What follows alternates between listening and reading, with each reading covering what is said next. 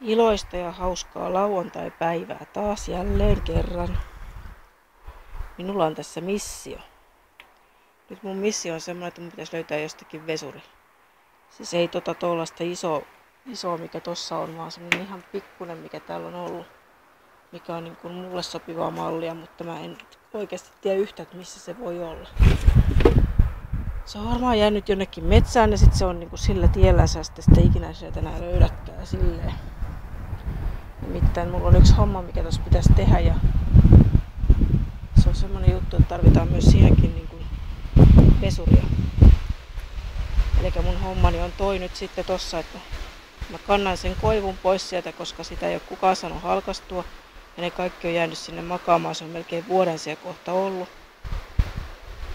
Ja kymmenen kuukautta.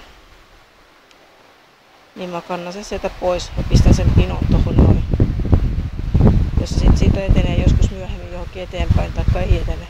Mutta mun pitäisi kuoria tuota vähän tuota puuta. Ja sitä varten minä tarvitsin vesurin, mutta nyt mä en kyllä tiedä oikeasti missä se on. Jep, jep. Ton verran mä oon nyt kantanut tuohon, en mä oo kauan vielä hengailu, mutta sitten mennäänpäs katsomaan mitä siellä tapahtuu nyt. Täällä on hirveä tuuli ja tää humisee sitten taas, mutta koittakaa kestää yltäällä vähän niinku ei se suojaaminen kyllä auta siihen hommaan yhtään mitään. Tällaista. Tällaista se on. Mä oon niinku koittanut etsiä sitä helkkarin vehettä joka puolelta, mutta kun en tiedä yhtään missä se voisi olla. Ei mieleen mitään paikkaa. Paitsi toissakin metässä kuitenkin. Eli toisin sanottuna siinä olisi tasavottaa olisi nyt kaivannut noin valmiiksi tuosta esille niin nämä. Et saa vaan niistä kantaa tonne, sitten kantaa tosta noin. Ja noin isot puut, mä en tiedä vaan millä konstilla. Ja sitten on toi hirveä ja tota tuommoista oksaa, mikä jäi silloin, silloin tonne ja sekin pitäisi vie pois, koska tai hakettaa, mutta kun tuon hakelaitteen käyttö on vähän semmoinen juttu, että jos se menee jumiin, kun sitä käyttää, niin mä en sitä sieltä saa minkä sitten mitä kaivettua. Että silleen. Alppiruusuhan jos siinä vaiheessa, kun se kaadettiin, siitä joku puolet jäljellä, mutta sen kukkii kuitenkin. Ihme kyllä. Se puolikas, mikä siitä sitten on tossa. Mutta puolet siitä lähti. Ihan kiva se olisi nyt, kun se kärsi vähän tosiaan pahasti toi läjä tosta täytyisi saada pois kanssa, koska jos toi on tossa, niin ei tonne mitään elukoita saa tuotua niin pitkään aikaa. Ihan hirveä käsittämätön operaatio.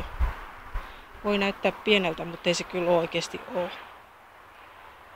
Mutta eihän siinä mitään. Onhan tässä lauantai-päivää aikaa tehdä tämmöstäkin sessio, kun mitäpä tässä oikein muutata sinne. Mielellä olisi tietysti kantanut noita tuolta pihalle, jos olisi vaan voinut ei voi, ei voi niin kauan, kun tässä on tämmöinen hävitys. Pitää saada ensiksi kulkuväylät valmiiksi sillä Ja vielä pinottuakin noin oikeasti, koska muuten jos niitä ei pino, niin, niin, niin ne mätänee sitten tohon. Ja siksi pitäisi vielä saada vähän noita kuoria niin kuorittua pois, että kuivuisi paremmin. Halkihan niitä ei nyt enää kukaan saa, kun ne on sitkistynyt tossa, mutta, mutta en mä oletakaan, että se kuuluisi meikäläiselle se operaatio. Mutta voin mä nyt kuljettaa ne pois tosta, koska mun täytyy saada tilaa. Sehän siinä vähän on.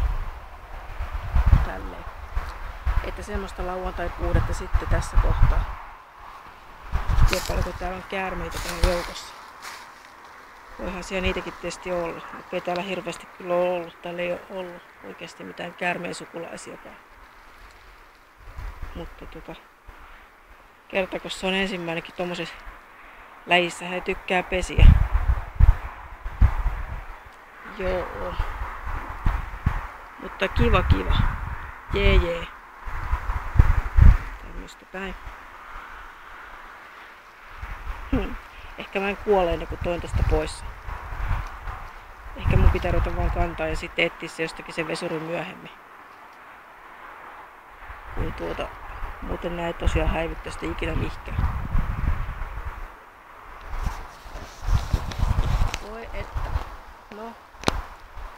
Tällä parannetaan itsesääliä kummasti, kun pistetään vähän niin kuin ja kyllä tämä kohottaa kuntoakin kummasti ja jos sattuu vaikka läskit lähtee samalla kun pistää vähän töppöstä toiseen eteen.